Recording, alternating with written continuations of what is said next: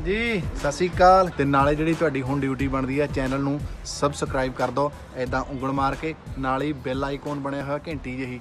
ਉਹਦੇ ਤੇ ਵੀ ਮਾਰ ਦਿਓ।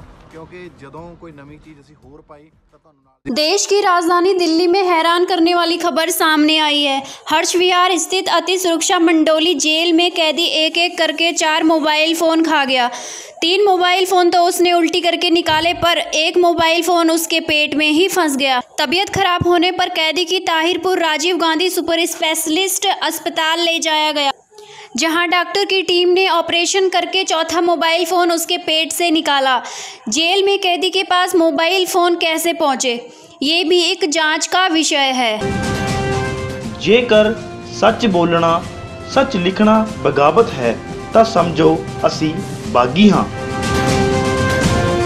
ਸੱਚ ਅਤੇ ਹੱਕ ਦੀ ਆਵਾਜ਼